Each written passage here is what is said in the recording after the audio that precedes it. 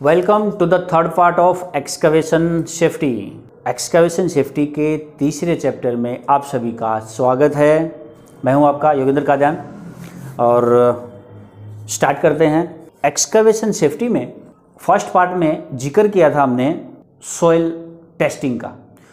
तो देखिए, जब तक सॉइल टेस्टिंग नहीं होती है, मिट्टी का टेस्ट नहीं किया जाता है, तब तक एक्सकावेशन स्टार्ट नहीं करते हैं। हालाँकि प्रैक्टिकली अगर मैं बात करूँ तो आप किसी भी कंस्ट्रक्शन कंपनी में ज्वाइन कर रहे हैं, या कर चुके हैं, या आप काम कर रहे हैं तो ये जितनी चीज़ें मैं बता रहा हूँ ना, इनमें से आधी चीज़ें भी वहाँ फॉलो नहीं होने वाली हैं। आधी भी फॉलो नहीं होंगी बट सिलेबस है सब्जेक्ट्स हैं तो देखिए कोई कोई एक आध इतनी बढ़िया क्लाइंट मिल जाता है कि वो कंपनी नहीं भी करना चाहे सब कॉन्ट्रैक्टर कंपनी ना भी करना चाहे तो वो करवा लेते हैं उतनी अच्छी चीज़ें। इसलिए वो सारी चीज़ें जानना बहुत ज़रूरी है हमारे लिए। तो भी सॉइल मैकेनिज्म के बारे में सॉइल मैकेनिक्स के बारे में मैं कुछ बताना चाहूँगा कि मिट्टी को कैसे चेक करते हैं क्या क्या तरीके होते हैं, क्या मशीन्स होती हैं, जिनसे हमें ये पता चलता है कि ये मिट्टी किस लेवल की है और किस टाइप की मिट्टी है। अब यूनिट वेट की बात करते हैं। यूनिट वेट ऑफ़ सॉइल मिट्टी का यूनिट वेट अप्रोक्स कितना होता है? One cubic foot one cubic foot of soil मिट्टी, एक क्यूबिक फुट में मिट्टी जो है can weigh from one hundred and ten pounds to one hundred and forty pounds एक सौ दस से एक सौ चालीस पाउंड वेट होता है। किसी भी एक क्यूबिक फीट मिट्टी के अंदर, एक क्यूबिक फुट के अंदर जितनी मिट्टी होती है अप्रोक्सली उसका लगभग 110 पाउंड से 140 पाउंड या थोड़ा बहुत ज़्यादा हो सकता है। और इसके अलावा वन क्यूबिक मीटर अगर फिट की बजाय हम बात करें one cubic metre 35.3 cubic feet में soil can weigh more than 300 pound अगर एक क्यूबिक मीटर मिट्टी की हम बात करें तो उसका वेट तीन हज़ार पाउंड लगभग होता है। एक टेम्प्रोरी सॉइल होती है। टेम्प्रोरी सॉइल का मतलब टेम्प्रोरी सॉइल का मतलब ऐसी सॉइल जो वहाँ पे परमानेंटली नहीं है, वो उड़ के इधर से उधर चली जाती है या उसको यहाँ से उधर उठा के रख दिया जाता है। Temporary soil must be placed no closer than two feet from the surface edge of edge of the excavation measured from the nearest base of the spoil to the cut खुदाई के टेम्पररी सॉइल का मतलब जहाँ खुदाई की जाती है, वहाँ से सॉइल को उठा के जब ऊपर किनारों पे रख दिया जाता है तो उसको हम टेम्पररी सॉइल बोलते हैं, और वो खुदाई के समय हमारे जो एक्सकावेशन के जो एज होते हैं, जो किनारे होते हैं, जो कॉर्नर होते हैं, उनसे कम से कम दो फीट दूर इकट्ठा किया जाता है। उनसे कम से कम दो फीट बाहर की तरफ़ उस मिट्टी को इकट्ठा किया जाता है, जब तक वो उठाई नहीं जाती है वहाँ से। अब बात करते हैं टाइप्स ऑफ़ सॉइल ये मिट्टी कितने टाइप की है? कितने प्रकार की मिट्टी होती है? एक्सकावेशन से पहले यही चीज़ देखना है हमें। इसलिए हम जानना चाहते हैं कि सॉइल जो है, वो है कितने प्रकार की मिट्टी। सो ये मुख्य रूप से चार प्रकार की होती है। नंबर एक स्टेबल रॉक नंबर दो type A soil type B soil type C soil total चार टाइप की है। इसके बाद एक और पाँचवें टाइप का भी रहता है। उसको हम कंसिडर कर भी सकते हैं। टाइप ऑफ़ सॉइल में वो होता है लेयर्ड सॉइल लेयर्ड यानी कि कई लेयर में जो होती है।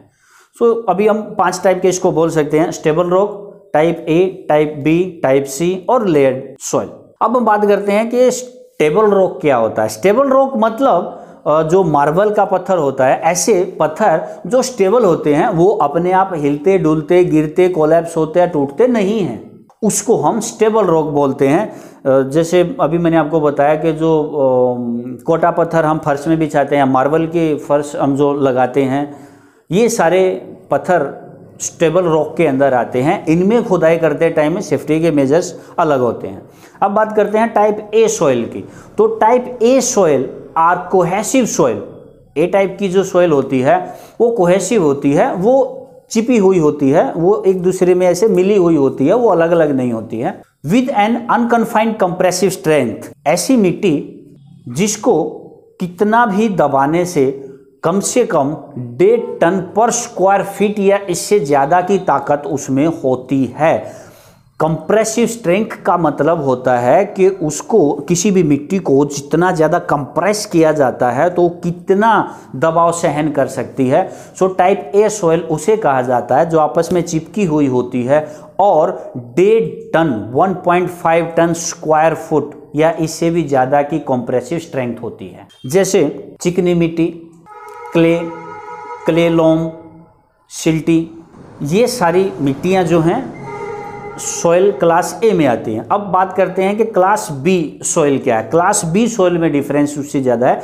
Class type B soil are cohesive soil with an unconfined compressive strength greater than 0.5 ton per square foot but less than 1.5 ton square foot 1.5 डेढ़ टन प्रति स्क्वायर फीट से कम होती है, लेकिन 0.5 टन पर स्क्वायर फीट से इसकी कंप्रेसिव स्ट्रेंथ ज़्यादा होती है। अब बात करते हैं टाइप सी सॉइल, और ये टाइप बी सॉइल में दोमट मिट्टी और काफ़ी चिपकी हुई बजरी टाइप मिट्टी होती है, लेकिन वो बहुत जल्दी गिरती टूटती नहीं है। लेकिन जो चिकनी मिट्टी होती है, उससे थोड़ी सी कमज़ोर होती है। दोमट मिट्टी ही उसको आप मान सकते हैं, जो खेतों में पाई जाती है।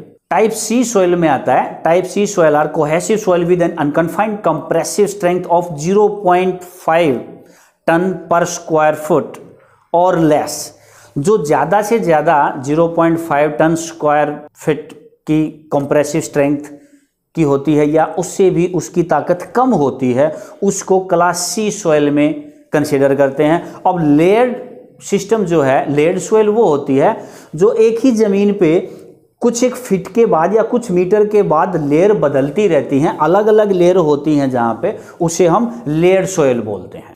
अब बात करते हैं कि सॉइल की टेस्टिंग कैसे होती है, इसका एवेल्युएशन कैसे होता है।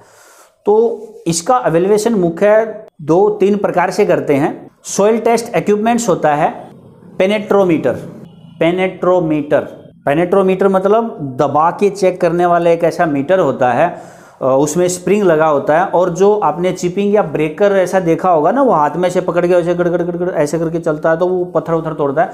कुछ इस प्रकार से वो काम करता है। उसमें एक लंबी नीचे रोड होती है जिस पे स्प्रिंग लगा होता है तो उसको ज़मीन पे रख के दबाते हैं एक प्रेशर पे।